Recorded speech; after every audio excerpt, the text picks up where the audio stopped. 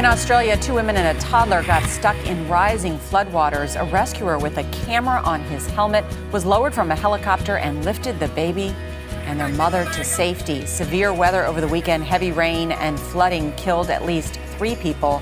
Hundreds of homes are underwater and more than 200,000 are without power.